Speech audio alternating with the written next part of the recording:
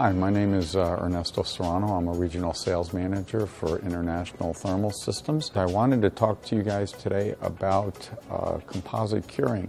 Uh, that is really becoming something that is ongoing as well as uh, increasing in, especially in the aerospace industry. Uh, International Thermal Systems offers a variety of custom solutions to help our customers specifically in out of autoclave vacuum bag composite curing. We offer excellent temperature uniformity um, as well as custom designs to help our clients uh, meet their specific needs uh, in the aerospace industry, such as AMS 2750E and others. Uh, again, tight temperature uniformity and uh, excellent product quality helps our customers uh, meet their clients' demands.